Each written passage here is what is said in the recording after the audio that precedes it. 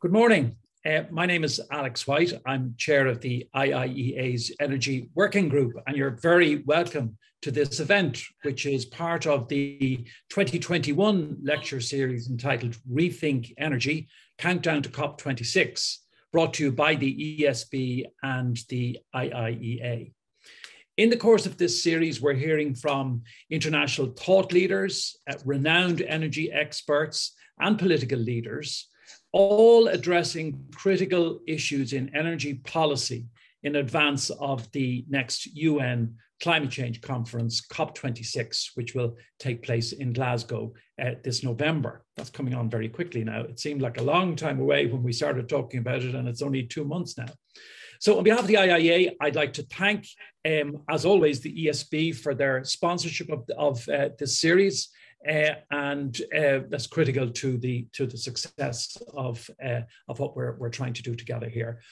Today, we're delighted to be joined by Dr. Angela Wilkinson, who is Secretary General of the World Energy Council. And I'd like to thank Angela for being so uh, generous with her time to speak with us today, especially given how close we are, as I said, to the to the upcoming summit. And I'm sure uh, she's very busy in those preparations, along with all of the other work um, that the World Energy Council is involved in. Dr. Wilkinson is Secretary General of the World Energy Council.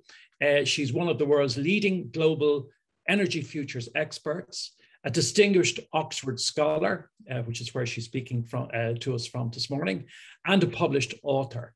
Uh, Dr. Wilkinson has 30 years of experience in leading national, international, and global multi stakeholder transformation initiatives on a wide range of economic, energy, climate, and sustainable development uh, related challenges. She was appointed Secretary General and CEO of the World Energy Council in 2019 having joined the Council in 2017 uh, to create a practical energy transition toolkit for leaders and to direct a new strategic uh, insights program. Prior to this, um, Angela worked for periods at the OECD, at Royal Dutch Shell, and at British Gas. She has a PhD in physics, is a fellow of the World Academy of Arts and Science, and has published four books and numerous uh, articles. The title of today's address is going to be The World Energy Council's Vision to Humanize the Global Energy Transition. Uh, just to give you a sense of the timetable, Dr. Wilkinson will deliver a, her address of approximately 15 minutes or so. And after that presentation, we go to a Q&A session with you, our audience. Uh, you can join the discussion by using the Q&A function on Zoom which you should see on your screen. And feel free to send in your questions when they occur to you throughout the session rather than waiting until at the end and they all sort of come bunching in together. So if you something bright the insight occurs or question occurs, just put it in there into the system uh, uh, when it when it does. Would respectively ask respectfully ask that you identify yourself and affiliation if you have one uh, when you ask a question. Reminding everybody that today's presentation and the Q and A session are all on the record, um, and feel free if you're inclined to use uh, Twitter. Uh, and our hashtag there is hashtag rethink energy. Before we go to Dr. Wilson, it's uh, Dr. Wilkinson. It's my pleasure uh, to invite Fergal McNamara, um, who is the manager of regulation and policy at the ESB, familiar to many of you, and also chairman of the Distribution and Market Facilitation Committee at Eurelectric, to say a few words by way of opening. Fergal, over to you, and it's great to have you with us. Alex, thank you very much, and uh, good uh, good morning, ladies and gentlemen. I, on behalf of ESB, would also uh, like to welcome you to this latest lecture in our series, uh, Rethinking Energy, uh, uh, carried out here with the IIEA. And those of you that were at our lecture in July will remember well, and things have become much more open with the with the vaccines with the vaccines. And uh, with COP26 uh, just around uh, the corner, uh, with the recent events that we've all witnessed around the world, showing the impact of human activity is having on our, cli- uh, on our climate, it couldn't be more timely for me to introduce uh, Dr. Angela Wilkinson and this talk. And it's my great pleasure, Angela, to welcome you back to the Institute. I well remember introducing you when you were last here in 2019 when we spoke about hydrogen. Um, but this one is a really interesting topic. It's the role of the citizens in the energy transition and humanizing the energy transition. And uh, Angela, I can well remember you taking the post of Secretary General and uh, developing this as your own uh, team and your own strategy. So well done with that. ESB itself has a very uh, long uh, standing relationship with the uh, World Energy Council. Ireland, indeed, was one of the founders way back in the 1920s. And together with EirGrid, uh, we formed the National Member Council, and Dr. Um, Owen Kennedy in EirGrid is the secretary of it. Ellen Diskin is uh, one of the ESB employees who's occupied in the WEC's uh, Future Energy Leaders 100 program, which is a great privilege for ESB and for her. And today you'll hear about the WEC's uh, 2021 Issues Monitor on Humanizing Energy. And uh, indeed, ESB has made a contribution to that report and it will show and outline the steps that we all must take uh, as part of the race uh, to net zero around the world. At ESB, uh, we're very committed to uh, contributing our uh, resources to um, the low carbon future and securing affordable uh, energy. Um, customers, of course, are at the heart of the energy transition, and we're very conscious of our role as utilities. Uh, we must continue to help to customers to play that role and to become active in energy citizens who are willing to adopt uh, new technologies such as electric vehicles, uh, heat pumps, and uh, smart meters. But we must all uh, play our part, and across ESB, we are trialing and implementing new technologies to reduce our own carbon uh, emissions while enable others to reduce those. In recent years, uh, we've closed our uh, peat-fired power stations and significantly expanded our renewable portfolio through investments in onshore and offshore wind. This year, we announced plans to convert uh, our Moneypoint coal station in County Clare into a leading uh, green energy hub. And so to enable customers to fully benefit from the clean uh, electricity transition, we're supporting electrification through transport, heating, and in industry.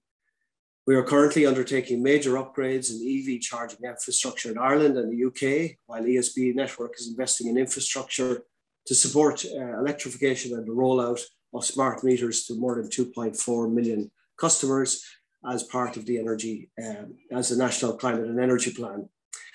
And so without any further ado, I'd like to uh, hand this over to Angela. And Angela, uh, we're really looking forward to hearing your talk and you're most welcome back to the IEA. Thank you. Thank you very much. Ladies and gentlemen, and to everyone online today, a very warm hello from Oxford.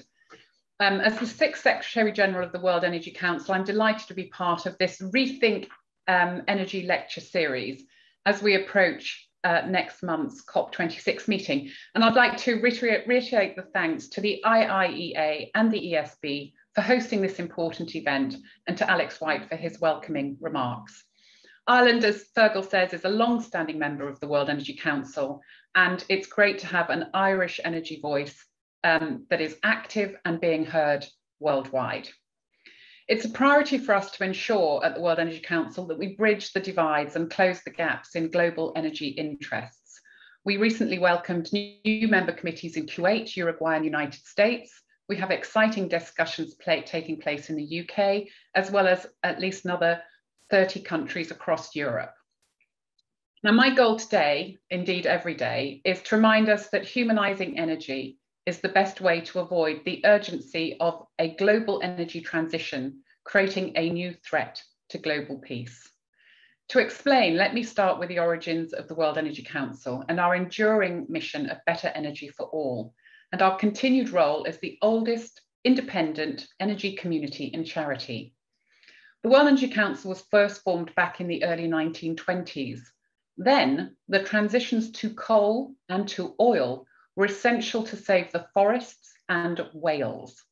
And in ushering a new era of energy for peace, societies were grappling to recover from a global influenza pandemic and about to experience a stock market crash followed by the Great Depression.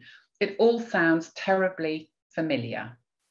The transition from steam power to electrification and life at the press of a button helped in usher in a new era of energy for prosperity, and the promise of clean and convenient energy uses has enabled better quality lives for billions of people worldwide and needs still to connect billions more to new livelihoods as well as different energy uses. Our 100 year heritage in building the world energy community through these different world eras is unique, and it's the foundation for convening and cultivating the practical know how and global common sense needed in today's era of energy for people and planet. We don't predict winners and we don't advocate for any country, company, or technology. Instead, we focus on the power of new middle ground by building bridges between diverse energy perspectives, needs, and interests, and addressing the growing risk of ideological polarization. Now, our ability to join the dots between multiple energies, uh, agendas and diverse interests helps us support governments, businesses, and societies face the cross-cutting challenges of recovery from crisis, repairing our planet, regenerating our societies, and not overlooking the post-pandemic challenges of built-in resilience, which extends to people and supply chains. Now, we launched the World Energy Trilemma Index more than a decade ago, and it provides a unique and adaptable framework for sustainable development, which measures national energy systems performance across four essential leadership dimensions, energy security, equity and affordability, and environmental sustainability, plus the quality of governance. The Energy Trilemma Index enables individual countries and diverse regions to compare their performance and learn within from each other about what's working and not what's not working, enjoying the dots between energy security, environmental sustainability, equity and affordability. And I know there've been an increase in energy security concerns recently uh, in Ireland. In our upcoming 2021 index, Ireland ranks 11th place globally, moving up an impressive six places since last year's index was released. But I have to caution the data in the trilemma always lags the current situation. A flexible and scalable trilemma with global, national, regional, and city level indices will help leaders at all levels of society rise to the challenges of accommodating the broader resilience, new affordability, and social justice agendas which have emerged in response to the challenges of recovery from the COVID 19 crisis. Now, whilst Ireland stands out amongst its peers in wind generation, it also holds great potential in the areas of energy storage, electricity export, and green hydrogen production. Indeed, most countries in Europe are exploring hydrogen's potential, and the national strategies published to date mention interest in producing hydrogen from low carbon and eventually clean renewable energy resources by 2050. This slide, gives an overview of, the, of national hydrogen strategies, and it's a very dynamic policy space. I invite you to look at the Council's most recent global insights into the developments on the hydrogen vector and the value chain that are being built internationally.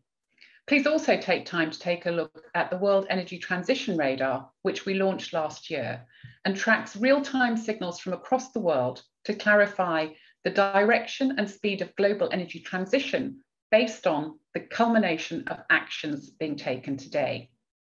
Today, we see more signals for two different energy futures, one scenario called re-record and the other is called fast forward. Now, our energy transition leadership toolkit is unique and used by our members to connect the dots, forge new common sense, and enable new collaborative actions, which lever the built-in scale of our globally networked community. And we've learned a lot in the last 100 years about how changes in energy affect our relationships with one another. Today, there is a lot of money being invested in big technology moonshots. We think it's important to remember that energy transition is not only about technology innovation and always involves societal disruption and transformation. I'd like to remind us all that only 11 men have made it to the moon in the last 50 years, and more recently, only the supremely wealthy have made it to the edge of space.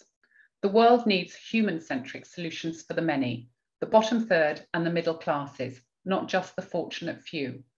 And I remain concerned about triggering a global technology winner takes all race to zero, which leaves whole regions and many communities behind and becomes a threat to world peace.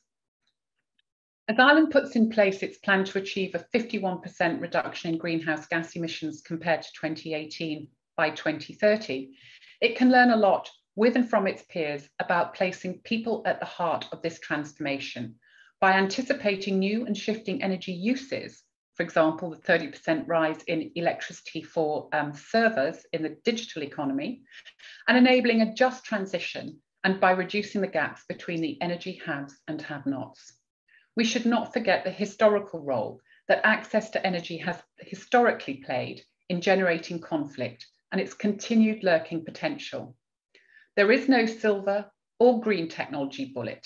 There is an opportunity to engage with the increasing diversity in energy as a source of learning and innovation. This is best achieved by involving more people and communities at all levels of society and aiming for a future direction of more sustainable energy, climate neutrality, and social justice. Time and time again, we've seen plans that look excellent on paper fail on the ground. This often happens when road building communities don't have a seat at the road mapping table. This is why Ireland's citizens' assemblies have shown such great success, and they stand out as an example of what community-centric approaches can do for all of us. Because swapping out old technology for new isn't the whole story. To avoid triggering a crisis in social transformation, energy literacy, behaviour change, and tax system reforms will also be needed along the way. I'm often asked to predict the future. What will the global energy mix, mix look like? And the que next question is usually, how much will it cost and who will benefit? My answers are never predictions, but practicalities. There is increasing diversity in energy in the broadest sense, not just resources and technologies, but geographies, people, skills, and uses and needs. There is a proliferation by countries, companies, and cities of net zero targets. And success is not in having a plan or a target or a roadmap, but depends on involving more people and the practicalities of road building. This is essential if we want to avoid the risk of cop out by the silent majority after the show is over. COP26 success rests on what happens after the conference itself. Unless people are and feel involved and feel that they have real choices and options that relate to their lifestyles and livelihoods, they will simply continue to do what they have always done and hope that somebody else will fix the problem. It's imperative we stop shouting from the mountaintops and involve more people at all levels of society in designing and growing new energy solutions in the diverse valleys of connected energy societies. I wouldn't have to spend long talking about the difference between living in Dublin and living in Tipperary to know that the choices for energy uses and options for transition are going to be different. It's important that what happens in Glasgow doesn't stay in Glasgow, just like what happens in energy transition in Ireland can be shared with the rest of the world. Now, it's our World Energy Community call to humanising energy actions in progressing globally successful energy transitions along multiple pathways and in ways that address the challenges of societal innovation and transformation, not just accelerated technology innovation. To achieve this, we're committed as a worldwide, open to all energy community and charity to achieving a step change in energy literacy, to involving more people and communities across all levels of society in making and moving energy transition forward, and in actively working to make sure that we leave no one behind, workforce, and jobs, and also avoid stranding whole regions and communities in this transition. Now, this is one of the reasons why the theme of the St. Petersburg World Energy Congress next year in October 2022 is Energy for Humanity. It will take place one year after UN Energy meeting this autumn and after the COP26 meeting which follows, and 100 years after we started up as the worldwide energy community. It will provide an opportunity to showcase achievements from across the world on humanizing energy for people and planet. So let me conclude with an invitation to see you all in St. Petersburg in October 2022 to share what's been achieved in Ireland after COP26 and to continue these important discussions on humanising energy and involving more people and diverse communities and cities in increasing the harmony between people and planet. Thanks very much for listening, and I look forward to answering your questions in the conversation. Angela, thank you very much for that. Um, uh, most interesting and stimulating, and just you know, just covering a huge amount of ground. I suppose people will certainly they'll have questions and insights, and just to uh, emphasize to to uh, all of you watching us here uh, that please participate. Um, and um, one of the themes that Angela has is humanizing uh, this agenda and involving as many people as possible in the discussion. Uh, so please get involved for the short time that we have here, um, as well as more broadly. Angela, everybody's talking about, maybe not everybody's talking about, but a lot of people in sort of officialdom and the media in the last few days, last week or so, are talking about this, you know, particularly gas. They're talking about worries about um, security of supply. I think I heard the UK minister on Radio 4 this morning reassuring everybody that there wouldn't be a problem. I'm, I'm just curious, without necessarily going into the detail of, of, that, do you, what impact, if any, do you think that might have? Is there a risk that it could have a sort of, a, it might weaken public support for this whole agenda, you know, that it then becomes, because I remember even when I was a minister, people every now and again, people said, well, security supply, security supply has got to be the top, you know, this trilemma thing and security supply, the first thing everybody mentions. I'm sorry, I don't, I don't denigrate that. I mean, of course, security supply for industry, for all of us, but there's a danger that it then pushes out the other agenda. And I wonder, do you have any thoughts on that?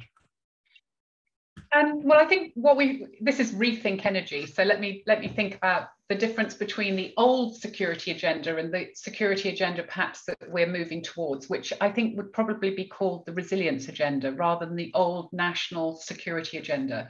So, hmm. you know, if I take Ireland as a case, um, then Ireland has been dependent on oil imports. It's managed to um, reduce its import dependency by developing indigenous gas. And of course, it's also stopping its use of peat and it's increasing its use of solar and wind power, in particular offshore wind power, right? So there's a lot of going on on the supply side. And also on the demand side, we're seeing shifts in energy uses. So we're seeing a lot more demand for digital energy, you know, supporting the growth in servers in Ireland. That's where your digital economy is coming from. And we're seeing growing gaps and divides between rural and urban economies everywhere. It's not just an Irish thing, it happens everywhere in the world. So energy transition is taking place in a different context than it did 20 years ago or 30 years ago. And what's happening now is the challenge is how do we integrate these more distributed energy resources, such as solar and wind, onto the existing grid as we take off some of the other large centralized supply solutions. And to do that, we're going to need to involve more people. You mentioned smart, uh, I think Fergal mentioned smart meters. That helps them manage some of their demand and shifts the demand around the different times of day. We're going to need new storage options. And we're going to have to talk about what happens when the wind doesn't blow and how much storage capacity do you need to cover, which is a lot more than people might think. When you knock out a peat fired power station, it's a lot more challenge to rebalance the grid and make sure everybody stays involved. And none of this is going to happen without infrastructure and without a little bit more cost on the system, at least in the short term, and working out who pays for what. So it's not simply plugging in one technology, taking it off. It's no longer just about imports, it's about integration and balance. And it's also about who decides who has priorities when the wind doesn't blow, who gets the hmm. electricity. But I, I, suppose I absolutely take that point, and we're living in a completely different context now when we talk about security of supply. But just grabbing and holding people's attention. That's what I'm wondering about. So if people hear, oh, there's a gas, there's a problem, there's a Putin problem, there's a the pipeline might, you know, even the new one mightn't do anything for us, and there could be, you know, will I suppose I'm just thinking slightly naively, well, is that the only message people hear? And is there a risk that these more more subtle but critically important messages don't don't get through as easily as they might otherwise get through. I mean, it's just another challenge, really, isn't it, to, to be faced? Well, yeah. I mean, I mean, crying wolf is no never brings a good solution yeah. to the table, and neither does blaming everybody else for what's going on. I mean, we all have to take a hard look in the mirror and start to understand how do we use energy. Most people are unaware of where they use energy in their lives, of how much they're dependent on it. We've got so used to just flicking a switch on, and there it is And now, for the first time in, in probably most of our lifetimes, I'm old enough to remember the um, oil shocks and the disruptions of the 1970s. But for many of us, it's so taken for granted, we just expect it to be there. And now we're going to have to start becoming a little bit more informed. That's what we mean by energy literacy, and a little bit more um, decisive about what sort of lifestyle choices do we face? Because it is going to require, the energy transition is going to require a change in behaviors. It's going to require a change in tax bases. It's going to require a change in thinking about who gets things when and how. We're using energy more in more mobile applications. We're moving around more with energy. You know, your phone, it's got to be charged on the go. These are all changes. And, and I think for if we want to avoid crying wolf or blaming everybody else, then we have to help people better understand where they use energy, what choice, what real choices they face, and how they can help manage the transition so that the first time they don't realize it is when they don't have any power. Hmm. They're actually on the, you mentioned again, um, energy literacy. Two questions have come in, um, and I just put them both of them out together because they're kind of linked.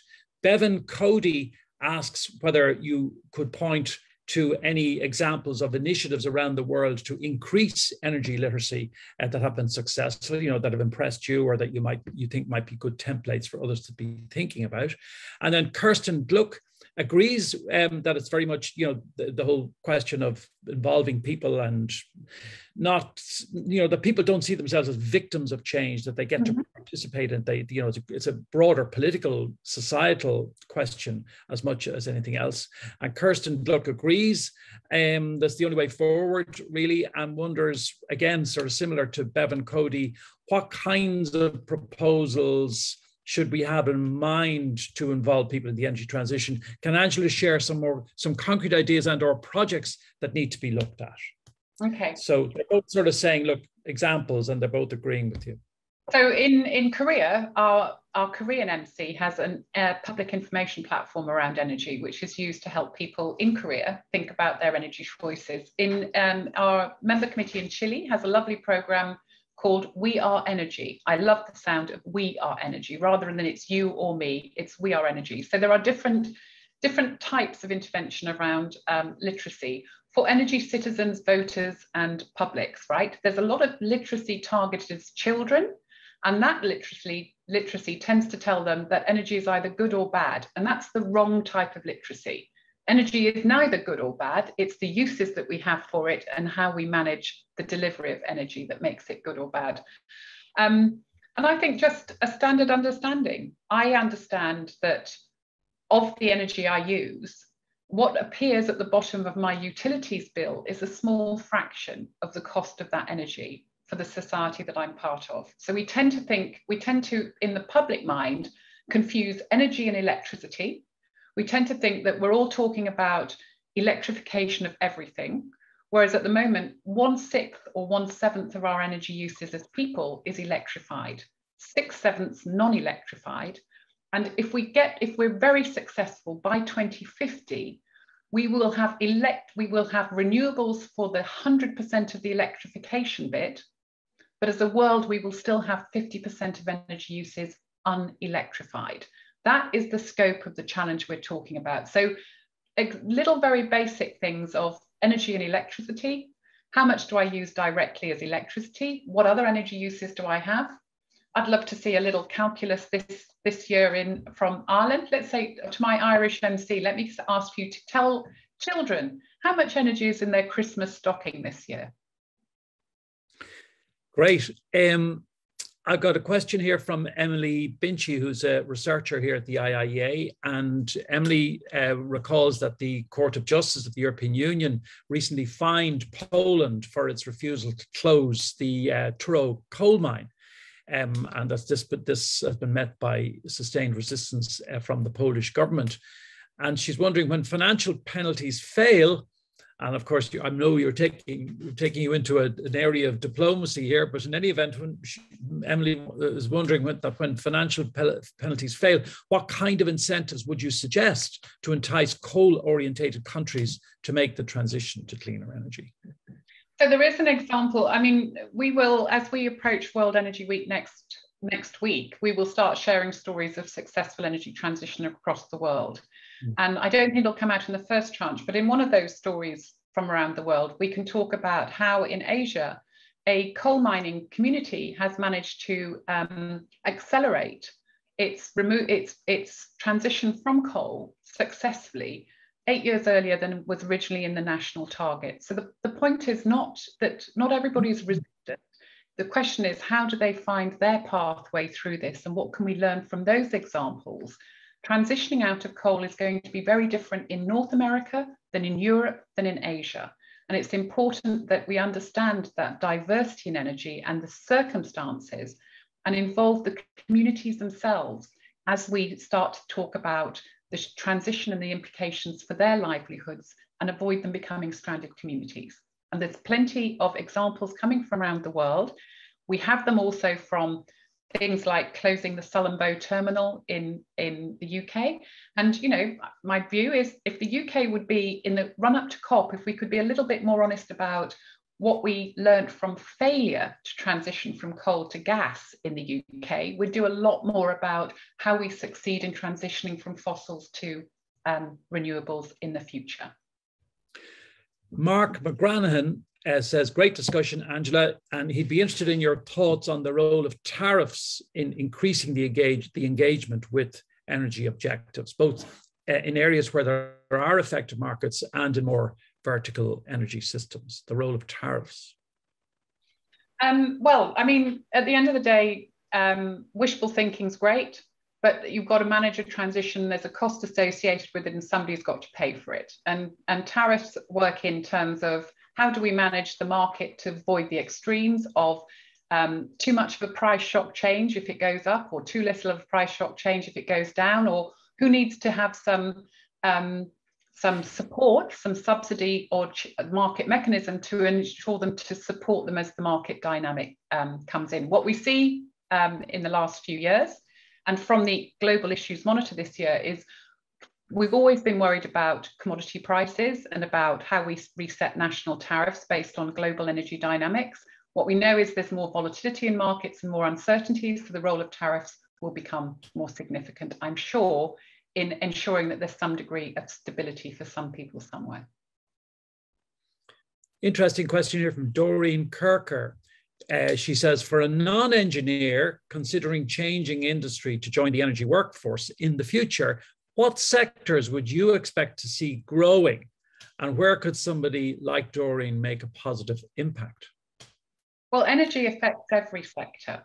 You know, so energy is in health, energy is in education. Um, there's an energy industry, but even the energy industry these days is hard to identify. The classic energy industry where you know, has the, we, we all think of J.R. Ewing and the oil business in Dallas and the redneck engineers, but these days, you know, Amazon's an energy business. So energy is everywhere. And I hmm. love energy because it matters. It really matters in people's lives. So for me, it's um, it's if we get it wrong, it really hurts people. When we get it right, people take us for granted and they wonder what the hell we were talking about at all about these energy challenges. But that's the joy. The joy is it really matters. When you get it wrong, everybody will blame you. When you get it right, they won't even notice you've done it for you. That's the sort of life you've got to go into as an energy professional. Great. Two uh, questions. One from um, one of our attendees who didn't give his or her name. Um, would it be a good idea to list the cost of my energy bills to the planet as well as the financial cost? I don't know how you do that, but I think I understand the, the idea here, which is which is not a bad one, but how would you quantify it? Well, whether we could quantify it in economic terms and be precise about it. I think what we have instead is we have um, general, ever since this sustainable development paradigm emerged in the 1980s, we've talked about the need for balance. Balance mm. between capital efficiency and technology efficiency and societal fairness and equity. So that's sustainable development isn't that we just let markets drive capital efficiency through the system. We don't just let technology and engineers drive um, physical efficiency through the system because we know that not everybody can cope with that. So it's always going to be this three-legged stool of that's what the trilemma is. security balanced against equity and affordability and against um, environmental sustainability. And the fourth dimension there is the quality of governance.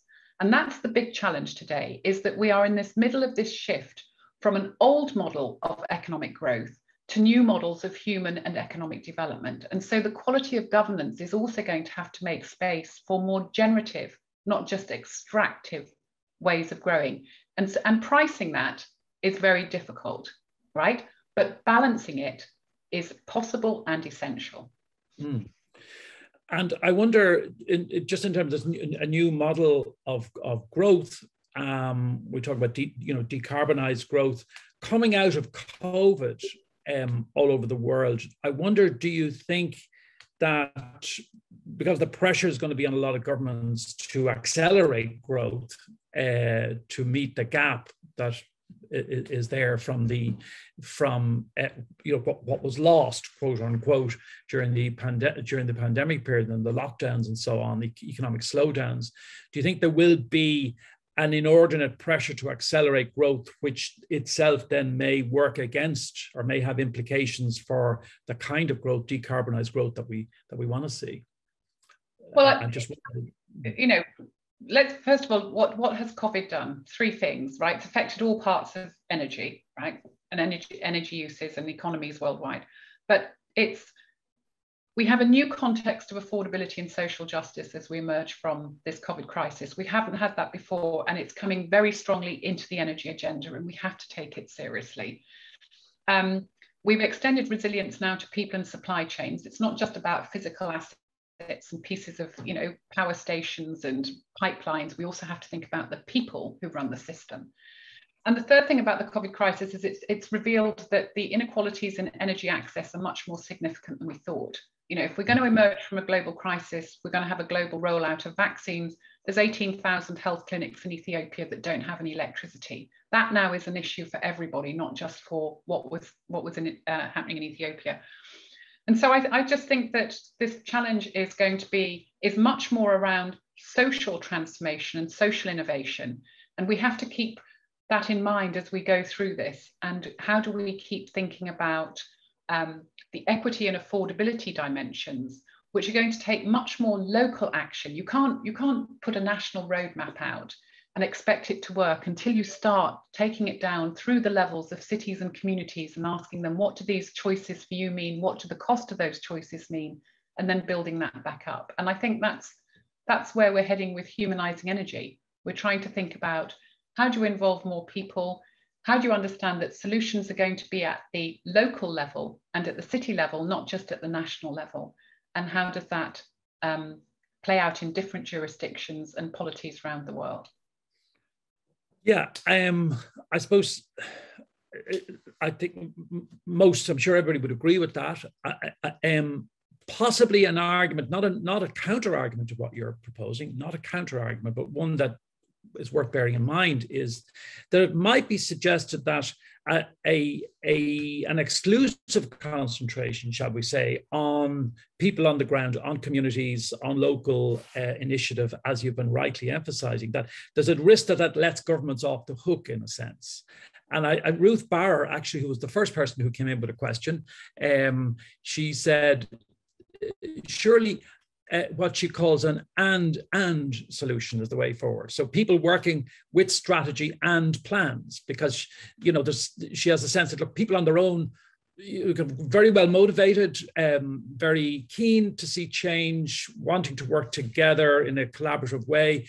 But it can sometimes, as we've seen in other agendas, political agendas, it can end up being just a bit chaotic and can go around in circles and not achieve very much. So, you know, she's saying, look, yes to the, I, as, as I understand, I don't want to uh, assume what Ruth thinks herself, but this risk of there being uh, all this good talk about community action, but it can just go around in circles and achieve very little. And the strategies, meanwhile, just gather dust. No, I understand that. So I'm not suggesting it's top down or, or versus bottom up at all. But what I'm saying is that the missing middle.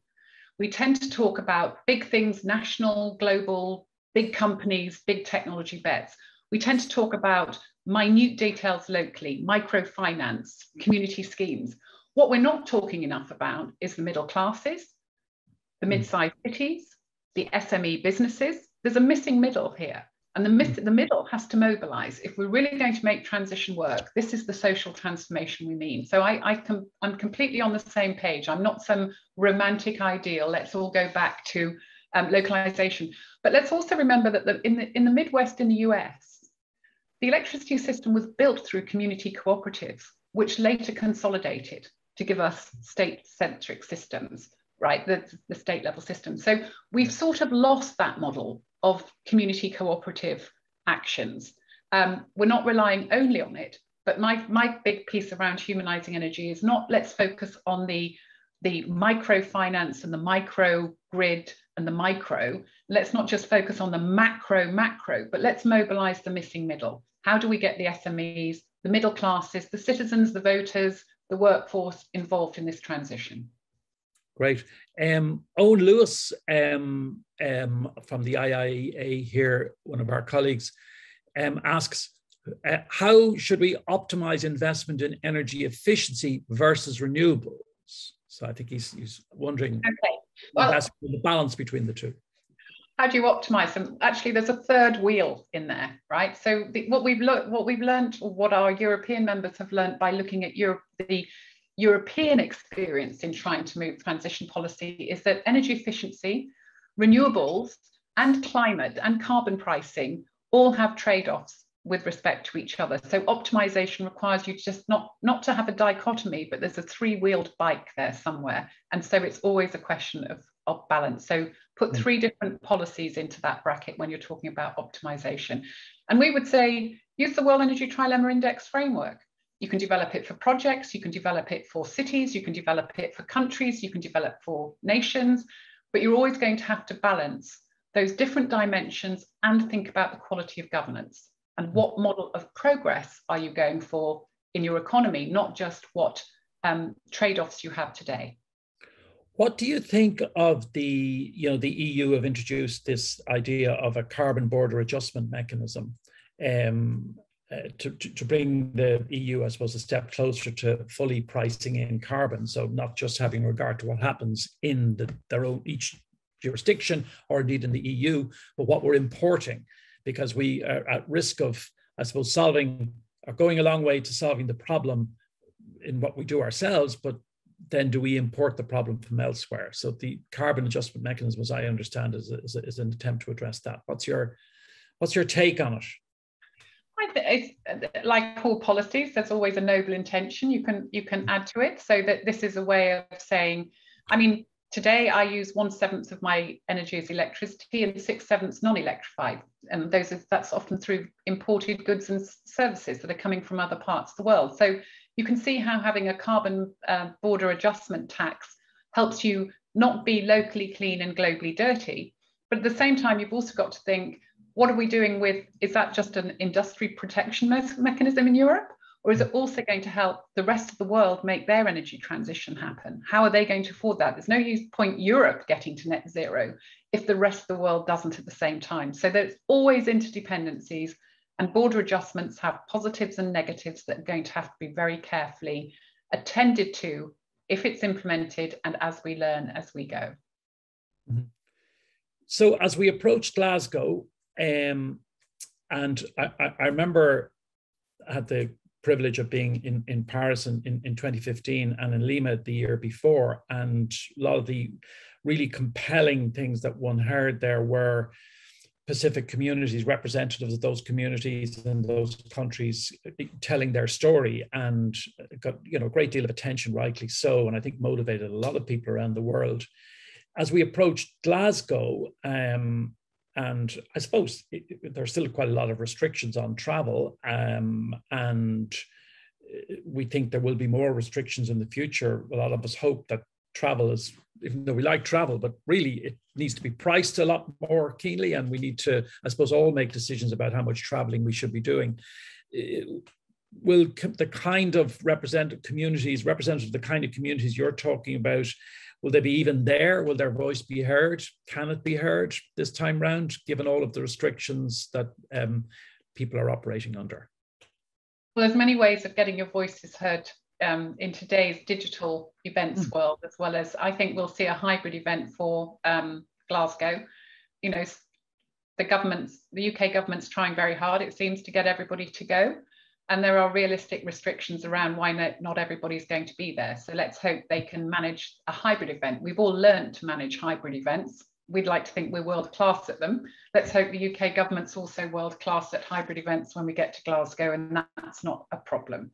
I think it's very interesting to think about the future of, of transport and travel. Um, I'm, I'm, I'm often sort of torn between the idea that we might be able to have virtual tourism because at the end of the day, we're curious human beings. We like to go and see places. We like to experience different experiences. That's why tourism is such a great thing for us individually. We like to experience different cultures, communities, tastes, whatever. So um, I think there's a lot more travel that can be substituted for digital events. And then there's some experiences that you just want to have in person. And who knows where that pattern will fall out in the future. For a long time, it's going to be difficult for everybody to travel, but I don't think it's been easy for most of the world to travel in a world of borders since about 1850. So who knows? There's a great there's a question here from uh, Dan O'Brien, um, our Dan O'Brien, I think it's it comes up as Daniel O'Brien. I'm sure it's Dan O'Brien, IIEA. Um, fossil fuels still account for 90% of global energy use. How soon will it be plausible? That's an interesting word, plausible, to end the use of the dirtiest fossil fuels, coal and oil. How soon will it be plausible?